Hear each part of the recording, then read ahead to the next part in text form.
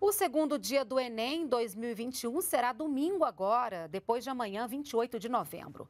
Os candidatos vão realizar 90 questões de ciências da natureza e matemática. O local da prova será o mesmo do primeiro dia, que foi domingo passado, dia 21, e os horários também. Lembrando que os portões abrem ao meio-dia e fecham à uma da tarde.